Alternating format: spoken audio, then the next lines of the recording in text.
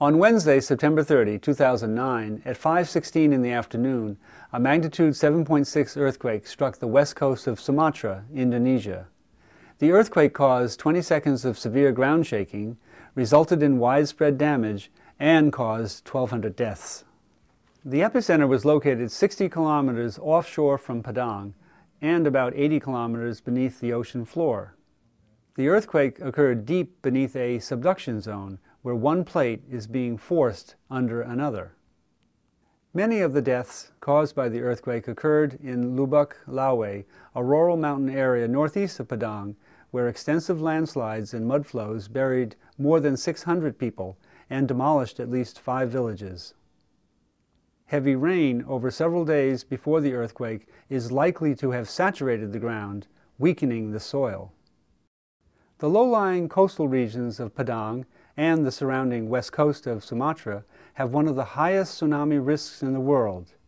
The Banda Aceh tsunami of 2004 reshaped the landscape and took more than 200,000 lives. In Banda Aceh, a lot of people didn't, didn't evacuate. They started picking up after the earthquake. Um, and by the time they realized that a tsunami was coming, it was too late. Um, it was only a segment of that fault that ruptured. Padang has almost four times the population than Banda Aceh. 400,000 people live in the coastal area, uh, probably inundated by tsunami.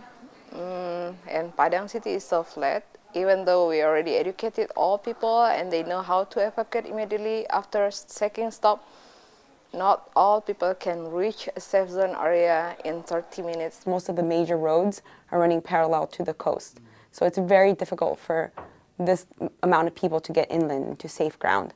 The BMKG's extremely well-run seismic network determined the location and depth of the earthquake in just over a minute and determined that there was no risk from a tsunami due to the great depth of this earthquake. It was very difficult to tell the public that there was no tsunami, so people kept on evacuating. If there would have been a tsunami, it would have been extremely devastating for the city. Wherever you are, you first are exposed to an earthquake before the tsunami. So you have to look at the earthquake safety of of, of, of your infrastructure and your, and your buildings uh, before you even start thinking about the tsunami. A lot of the buildings that were damaged, well, they were all existing buildings, but many were built um, prior to modern earthquake provisions. So I think in those cases, the, the buildings just didn't have adequate strength and stiffness. Many buildings collapsed, either partially or completely. These collapses were more common for concrete buildings constructed prior to 2002, when Indonesia revised its building codes. Concrete failure was caused by a number of factors, including the absence of column stirrups in joints, the use of smooth as opposed to deformed rebar, and concrete containing large rounded river rocks. According to government reports, up to 140,000 homes were damaged in Padang and the surrounding areas. The causes of home collapses include weak mortar, poor bonding between bricks or stones, and the addition of second stories that introduced too much weight. If you add a story onto it, you have to think about the floors below.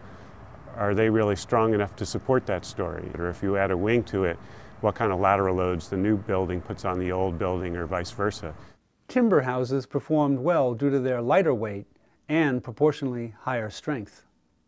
Approximately half of Padang's large multi-story hotels suffered significant damage during the quake. The collapsed Ambacang Hotel received extensive media coverage because of the large number of guests who were killed. This part of Padang has suffered uh, a lot of damage throughout the, uh, the blocks that are surrounding this, so it's pretty clear that this site got a very hard shake uh, and that perhaps the uh, soil conditions were, could, could possibly have been worse than uh, some other parts of, of Padang. Padang in Indonesia is like many developing countries that you tend to find very few steel buildings, and that's because steel is an imported material. And usually steel does well in earthquakes, uh, does better than, say, concrete or masonry. But in this case, we found that, that a number of the steel buildings, some of which were quite new, in fact collapsed. A lot of the earthquake-resistant details and practice that we've developed in the U.S. and is in Japan, that wasn't evident in the structures that we saw. For example, some light-framed steel buildings were weighed down with very heavy concrete slabs and infill walls. The Padang earthquake caused over 1,200 deaths and significant damage to 140,000 homes, And yet, Sumatra avoided an even bigger catastrophe.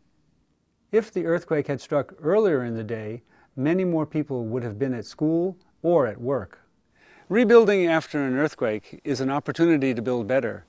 But is it possible to build better at a reasonable cost? Yeah, I think it, it definitely is possible to build uh, earthquake resistant and earthquake safe structures economically. I think, though, it's going to require a lot of political will, building code provisions, and some level of inspection from coming from a building department. But then I think it's really education through the whole design construction process. The Padang earthquake of September 2009 was very deep and it didn't relieve the stress on the main offshore fault.